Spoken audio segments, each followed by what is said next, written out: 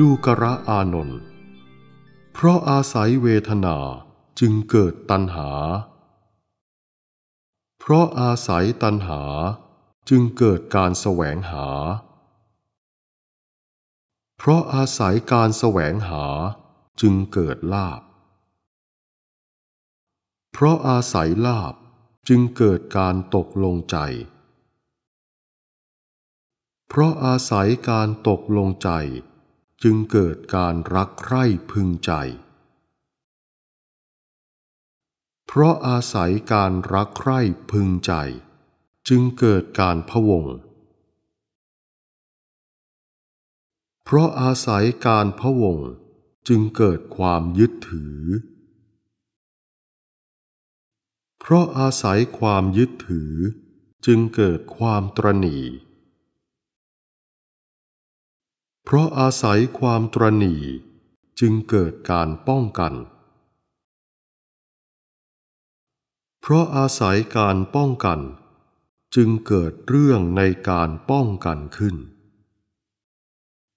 อกุศลธรรมอันชั่วช้า ลามกมิใช่น้อย คือการถือไม้ ถือมีด การทะเลาะ การแก่งแย่ง การวิวาท การกล่าวว่า มึง มึง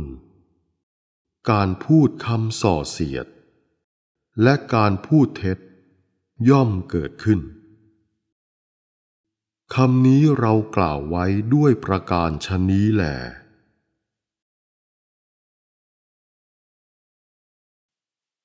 ดูกระอานนท์ก็ถ้าการป้องกันมิได้มีแก่ใครๆ ในภพไหนๆ ทั่วไปทุกแห่งหน เมื่อไม่มีการป้องกันโดยประการทั้งปวง เพราะหมดการป้องกันอกุศลธรรมอันชั่วช้าลามกมิใช่น้อย จะพึงเกิดขึ้นได้บ้างไหม เพราะเหตุนั้นแหละ อานนท์เหตุ นิทาน สมุทัย ปัจจัยแห่งการเกิดขึ้น แห่งอกุศลธรรม อันชั่วช้าลามกเหล่านี้ ก็คือการป้องกันนั่นเอง ก็คำนี้ว่า เพราะอาศัยความตรณีจึงเกิดการป้องกัน เรากล่าวอธิบายดังต่อไปนี้ ก็ถ้าความตรณีมิได้มีแก่ใครๆ ในภพไหนๆทั่วไปทุกแห่งหน เมื่อไม่มีความตรณีโดยประการทั้งปวง เพราะหมดความตรณีการป้องกันจะพึงปรากฏได้บ้างไหม เพราะเหตุนั้นแหละ อานนท์เหตุ นิทาน สมุทัยปัจจัยแห่งการป้องกัน ก็คือความตรณีนั่นเอง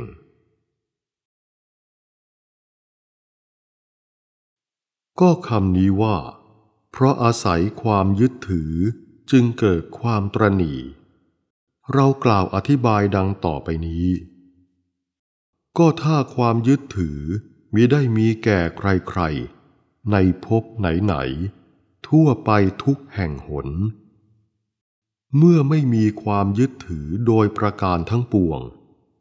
เพราะดับความยึดถือเสียได้ ความตรณีจะพึงปรากฏได้บ้างไหม เพราะเหตุนั้นแหละ อานนท์เหตุ นิทาน สมุทัย ปัจจัยแห่งความตรณีก็คือความยึดถือนั่นเอง ก็คำนี้ว่า เพราะอาศัยการพวง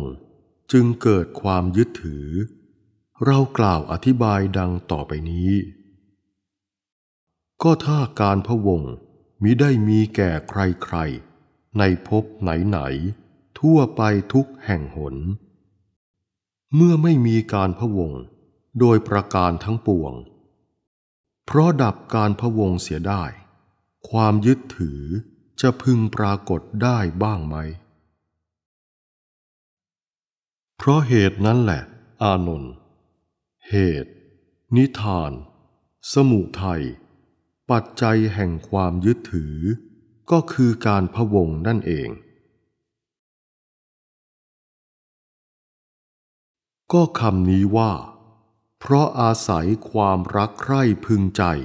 จึงเกิดการพวง เรากล่าวอธิบายดังต่อไปนี้ ก็ถ้าความรักใคร่พึงใจมิได้มีแก่ใครๆ ในภพไหนๆ ทั่วไปทุกแห่งหน เมื่อไม่มีความรักใคร่พึงใจ โดยประการทั้งปวง เพราะดับความรักใคร่พึงใจเสียได้ การพะวงจะพึงปรากฏได้บ้างไหม เพราะเหตุนั้นแหละ อานนท์เหตุ นิทาน สมุทัยปัจจัยแห่งการพะวง ก็คือความรักใคร่พึงใจนั่นเอง ก็คำนี้ว่า เพราะอาศัยความตกลงใจจึงเกิดความรักใคร่พึงใจ เรากล่าวอธิบายดังต่อไปนี้ ก็ถ้าความตกลงใจมิได้มีแก่ใครๆ ในภพไหนๆ ทั่วไปทุกแห่งหน เมื่อไม่มีความตกลงใจโดยประการทั้งปวง เพราะดับความตกลงใจเสียได้ ความรักใคร่พึงใจจะพึงปรากฏได้บ้างไหม เพราะเหตุนั้นแหละ อานนท์ เหตุ นิทาน สมุทัย ปัจจัยความรักใคร่พึงใจ ก็คือความตกลงใจนั่นเอง ก็คำนี้ว่า เพราะอาศัยลาบจึงเกิดความตกลงใจ เรากล่าวอธิบายดังต่อไปนี้ ก็ถ้าลาบมิได้มีแก่ใครๆ ในภพไหนๆ ทั่วไปทุกแห่งหน เมื่อไม่มีลาบโดยประการทั้งปวง เพราะหมดลาบ ความตกลงใจจะพึงปรากฏได้บ้างไหม เพราะเหตุนั้นแหละ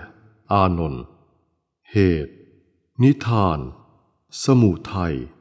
ปัจจัยแห่งความตกลงใจก็คือลาบนั่นเอง ก็คำนี้ว่า